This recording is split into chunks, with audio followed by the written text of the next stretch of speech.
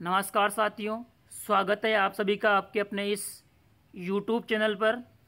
साथियों, यहाँ पर मैं आप सभी के लिए हाल ही में जारी हुए रीट भर्ती के विज्ञापन को लेकर कई सारे महत्वपूर्ण बिंदुओं पर बात करने वाला हूँ। कई सारे डाउट्स हैं अभ्यर्थियों को इस भर्ती को लेकर, इस विज्ञापन को लेकर। तो यहाँ पर मैं आप सभी के लिए उन डाउट्स को क्लियर करने के लिए ये वीडियो लेकर आया हूँ। तो जितने भी डाउट्स रीट भर्ती को लेकर हैं, इस विज्ञापन को लेकर हैं, वो सारे डाउट्स आपको ये वीडियो देखने के बाद क्लियर हो जाएँगे। तो इसके लिए आप सभी वीडियो को पूरा देखें ताकि जो भी डाउट्स आपके हैं, वो सारे आपको समझ में आए कि क्या क्या डाउट्स आपको डिस्टर्ब कर रहे हैं और उनके बारे में क्या सॉल्यूशन है। ये सारी जानकारी मैं आपको यहाँ प्रोवाइड करने वाला हूँ।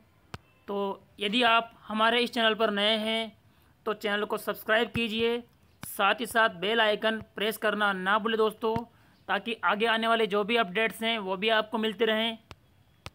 साथियों, सबसे पहले आप ये जान लीजिए कि हाल ही में चार तारीख को जो शिक्षा मंत्री महोदय की बैठक हुई थी, उसमें भर्ती को लेकर ज़िक्र किया गया था और उसी संबंध में कल रीट भर्ती का विज्ञापन जारी कर दिया है। इसके संबंध में आपको कई जानकारियाँ प्राप्त है ऑलरेडी जैसे कि भर्ती का फॉर्म भरना कब शुरू होगा, कब एग्ज़ाम होगा, कब प्रश्न पत्र जारी हो जाएँगे, ये सारी जानकारियाँ आप सबको प्राप्त हैं। लेकिन इन जानकारी इन जानकारियों के बारे में मैं आपसे कोई डिस्कस नहीं करने वाला हूँ। सिर्फ़ और सिर्फ़ मैं आपको यहाँ जो डाउट्स हैं, वो डाउट्स क्लियर करने वाला हूँ। तो सबसे पहले आप ये जान लीजिए कि कहीं सारे अभ्यर्थियों के मन में एक डाउट अवश्य रूप से होगा। कि जिस प्रकार से रीट में सिलेक्शन के तौर पर हमन को दो लैंग्वेज चूज़ करनी होती है, चाहे लेवल वन हो, चाहे लेवल टू हो। तो सिलेक्शन के तौर पर हमें दो लैंग्वेज चूज़ करनी होती हैं। तो यहाँ पर सभी साथीगण जो कि रीट की तैयारी कर रहे हैं, वो अवश्य रूप से ये बात समझ लें कि आपको किसी प्रकार का कोई संदेह नहीं होना चाहिए कि फ़र्स्ट लैंग्वेज के रूप में आप यहाँ पर दी गई हिंदी, अंग्रेज़ी, संस्कृत उर्दू, सिंधी, पंजाबी, गुजराती। इन सभी लैंग्वेज में से किसी भी एक लैंग्वेज को चूज़ करने के लिए आपको आज़ादी रहेगी। उसी प्रकार से लैंग्वेज टू के रूप में भी इन्हीं सभी लैंग्वेज में से किसी भी एक लैंग्वेज को चूज़ करने के लिए आपको पूरी फ्रीडम है। यहाँ पर किसी प्रकार की कोई बाधा नहीं है, कोई रुकावट नहीं है कि आप इन दोनों में से कौन सी लैंग्वेज किस लैंग्वेज के रूप में चूज़ कर रहे हो। चाहे आप लैंग्वेज फ़र्स्ट के रूप में लें या लैंग्वेज सेकंड के रूप में लें। अगर आपको अच्छा लगता है कि आप लैंग्वेज फ़र्स्ट के रूप में हिंदी, संस्कृत या इंग्लिश इन तीनों में से कोई एक चूज़ करना चाहते हैं चाहते हैं तो कर सकते हैं। और उसी प्रकार से लैंग्वेज टू के रूप में भी, इन तीनों में से किसी भी एक लैंग्वेज को चूज़ करना चाहते हैं। इसके अतिरिक्त बहुत सारे अभ्यर्थीगण जो उर्दू के लिए भी हैं तो जिस भी लैंग्वेज को आप चूज़ करना चाहते हैं, आपको पूरी तरह से फ्रीडम है कि आप किसी भी लैंग्वेज को किसी भी स्थान पर चूज़ कर सकते हैं। इसके बाद में यहाँ पर अगली अपडेट, जो कि आप सभी के लिए महत्वपूर्ण है। जैसा कि कहा गया था कि सिलेबस में राजस्थान जीके राजस्थान जीके का पार्ट अलग से ऐड किया जाएगा। लेकिन जो विज्ञापन जारी हुआ है, इस विज्ञापन में राजस्थान जीके का ज़िक्र कहीं से कहीं तक नहीं किया है। तो इसका मतलब सभी अभ्यर्थी ये ना समझे कि राजस्थान जीके आएगा या नहीं। जैसे ही रीट भर्ती का संपूर्ण सिलेबस जारी किया जाएगा, उस सिलेबस के तौर पर ही आपको ये अनुमान लगा सकते हैं कि राजस्थान का जीके आएगा या नहीं। लेकिन मेरा मानना ये है कि जिस प्रकार से ज़िक्र किया गया है कि रीट राजस्थान लेवल की भर्ती हैं तो इसमें राजस्थान का सामान्य ज्ञान शामिल होना अनिवार्य है। तो राजस्थान का सामान्य ज्ञान के तौर पर चाहे रीट लेवल फ़र्स्ट हो, चाहे लेवल टू हो चाहे एस वाले हो, चाहे साइंस वाले हो, सभी के लिए राजस्थान का सामान्य ज्ञान कुछ न कुछ अंश के रूप में ज़रूर आएगा। इसके बाद में आपको एग्ज़ाम की जो प्रक्रिया है, सबको पता है कि डेढ़ सौ प्रश्न आने वाले हैं और ढाई घंटे का पेपर होने वाला है। इस संबंध में जानकारी देना व्यर्थ है, सब जानते हैं इस बात को। लेकिन यहाँ पर महत्वपूर्ण बात यह भी है अब कि जिस प्रकार से रेट का जो नोटिफिकेशन जारी हुआ है उसमें देख लीजिए आप पेपर कटिंग में यहाँ पर मिस्टेक के तौर पे लिखा है एक जनवरी। इस बात को आप ध्यान न दें।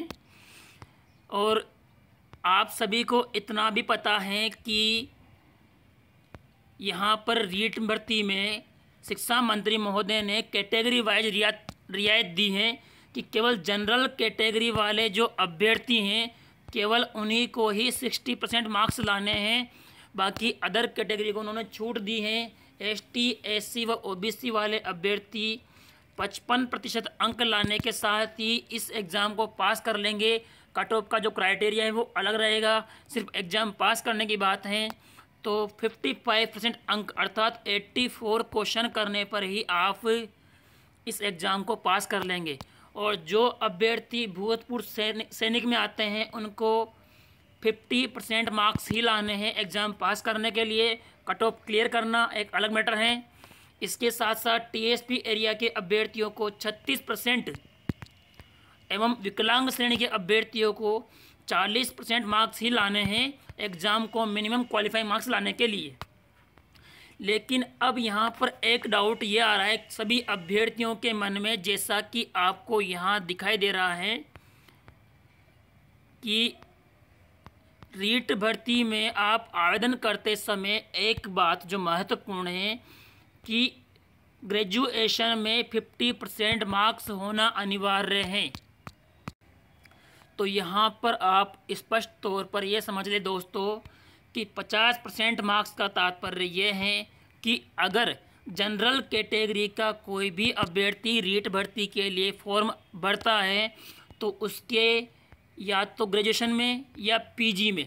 दोनों में से किसी भी एक शिक्षा में 50 परसेंट अंक होना अनिवार्य है और ये आप सब भी जानते हैं, जिस भी अभ्यर्थी ने बीएड कर ली है, उस बीएड वाले अभ्यर्थी के लिए कम से कम जो क्वालिफाइंग मार्क्स थे ग्रेजुएशन में जनरल कैटेगरी के लिए फिफ्टी परसेंट थे ओबीसी के लिए फोर्टी एट परसेंट अर्थात ओबीसी वाले अभ्यर्थियों को जिनके फोर्टी एट परसेंट हैं, उन्हें भी बीएड के योग्य माना गया था, एवं एससी व एसटी वाले अभ्यर्थियों के लिए फोर्टी फाइव परसेंट तो ये सबसे बड़ा डाउट था सभी अभ्यर्थी गणों का कि क्या पचास परसेंट से कम मार्क्स होने पर हम रीट का आवेदन नहीं कर पाएँगे। तो सबसे बड़ा डाउट मैं यहाँ क्लियर कर रहा हूँ कि जिस भी अभ्यर्थी ने बीएड की है वो एक कट ऑफ़ क्राइटेरिया के तहत की हैं। अब यहाँ पर जो कट ऑफ़ क्राइटेरिया था कैटेगरी वाइज वो हमने बीएड की थी। उस वक्त ही हमें बता दिया गया था कि एस टी के लिए forty five percent O B C के लिए फोर्टी एट एवं जनरल के लिए फिफ्टी परसेंट अब ये समस्या केवल जनरल वाले अभ्यर्थियों के लिए हैं कि अगर उनके ग्रेजुएशन में फिफ्टी परसेंट मार्क्स नहीं थे तो अवश्य रूप से वो बीएड नहीं कर पाएँगे, होंगे। लेकिन यहाँ पर अलग तथ्य जो सामने आया है, वो है कि एमए के बेस पर, अर्थात पीजी एग्ज़ाम के बेस पर जिन अभ्यर्थियों ने बीएड की हैं, क्योंकि कई सारे अभ्यर्थी के समस्या आती है कि यूजी में फिफ्टी परसेंट मार्क्स अचीव नहीं कर पाता है तो वो पीजी बेस पर बीएड के लिए आवेदन करता है। तो जिन अभ्यर्थियों ने पीजी में फिफ्टी परसेंट अंक प्राप्त करके उस बेस पर बीएड की हैं तो उन अभ्यर्थियों को भी इस बात का प्रावधान दिया गया है कि वो भी इस भर्ती के लिए एलिजिबल होंगे। जिस बात को पहले कहा गया था कि जिन अभ्यर्थियों ने पीजी के बेस पर बीएड की हैं, उन अभ्यर्थियों को रेट भर्ती में शामिल नहीं किया जाएगा। तो इस बात को यहाँ स्पष्ट किया गया है कि पीजी के बेस पर भी बीएड करने वाले अभ्यर्थियों को भी रीट में शामिल किया जाएगा। चाहे वो अभ्यर्थी कॉमर्स का हो, चाहे वो साइंस का हो, चाहे आर्ट्स का हो, सभी अभ्यर्थियों को इस बात की अनुमति दे दी है कि जिस अभ्यर्थी के, जनरल वाले अभ्यर्थी के पी यूजी में फिफ्टी परसेंट मार्क्स नहीं हैं तो वो पीजी बेस पर फिफ्टी परसेंट मार्क्स अचीव करके इस भर्ती के लिए आवेदन करने के योग्य हैं। और जिस अभ्यर्थी ने बीएड की है, उसे अच्छी तरह से पता है कि कैटेगरी वाइज किस किस क्राइटेरिया के अंदर बीएड वाले अभ्यर्थियों को अनुमति प्रोवाइड की जाती है? तो इस बात का संशय अपने माइंड से बिल्कुल दूर कर दे दोस्तों कि 50 परसेंट से कम मार्क्स होने पर हम इस भर्ती के लिए आवेदन कर पाएँगे या नहीं। इस बात को बिल्कुल दरकिनार करते हुए यहाँ पर स्पष्ट तौर पे मैं आपको समझा रहा हूँ कि आपको किसी बात की समस्या या चिंता करने की आवश्यकता नहीं है।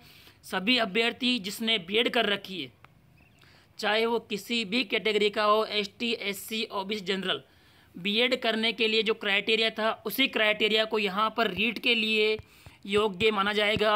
अर्थात बीएड धारी अभ्यर्थी चाहे वो यूजी के बेस पे हो, चाहे पीजी के बेस पे। यहाँ पर कोई रुकावट नहीं आएगी। हर बीएड धारी अभ्यर्थी इस रीट भर्ती के लिए आवेदन करने के योग्य होगा। किसी बात की कोई चिंता करने की आवश्यकता नहीं। और यही समस्या अगर बीएसटीसी वाले अभ्यर्थियों को आ रही हैं तो वो भी इस बात को ध्यान से सुन लें कि उन्हें भी किसी बात की कोई चिंता करने की आवश्यकता नहीं। तो यहाँ पर सबसे बड़ा डाउट अभ्यर्थी गणों का यही था कि रीट भर्ती के लिए कौन कौन से अभ्यर्थी आवेदन कर पाएँगे? क्या जिन अभ्यर्थियों के लिए यूजी में फिफ्टी परसेंट नहीं है, क्या वो इस भर्ती के पात्र नहीं होंगे? तो मैंने यहाँ आपका सबसे बड़ा डाउट क्लियर किया है और इसके अलावा यहाँ पर आप और चीज़ें देख लीजिए। यहाँ पर स्पष्ट लिखा है कि पहले रीट के लिए स्नातक में फिफ्टी फ़ीसदी अंकों के साथ बीएड ज़रूरी था, लेकिन ये केवल जनरल कैटेगरी वाले अभ्यर्थियों के लिए ही हैं, सभी के लिए नहीं।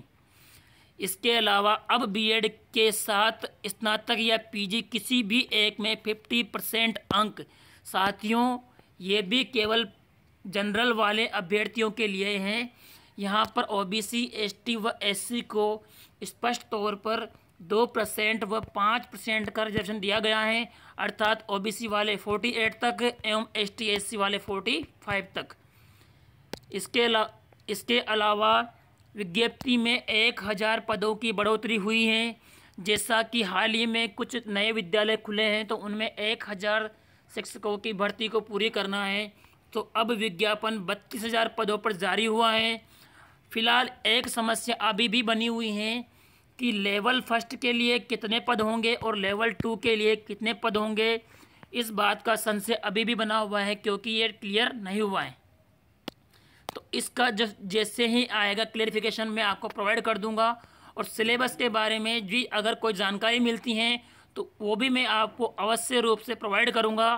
फ़िलहाल आपको ये ध्यान रखना है कि किसी भी अभ्यर्थी को किसी प्रकार की कोई चिंता करने की आवश्यकता नहीं है। और इस बार एक बात और स्पष्ट तौर पर कही गई है कि अगर कोई अभ्यर्थी दोनों लेवल, फ़र्स्ट लेवल व सेकंड लेवल के लिए आवेदन करता है तो ये कोई आवश्यक रूप से नहीं है कि दोनों लेवल का सेंटर एक ही जगह पर आएगा। अगर दोनों लेवल का सेंटर एक ही जगह पर नहीं आता है तो अभ्यर्थी पहले उसको प्रायिकता दे जिसकी वो प्रॉपरली तैयारी कर रहा है। अर्थात बीएसटीसी वाले अभ्यर्थी लेवल फ़र्स्ट को और बी वाले अभ्यर्थी लेवल टू को। हालाँकि आप अपने ज्ञान को प्राप्त करने के लिए, अपने ज्ञान में वृद्धि करने के लिए आप दोनों लेवल के एग्ज़ाम दें। अगर सेंटर एक जगह आता है तो इसमें कोई दो राय नहीं है। लेकिन अगर सेंटर अलग अलग जगह आता है तो आप अपने मेन एग्ज़ाम को प्रायिकता दें। ये मेरी आपसे विनती है। और इसी प्रकार की आगे की जानकारियों के लिए आप सभी मित्रगण हमारे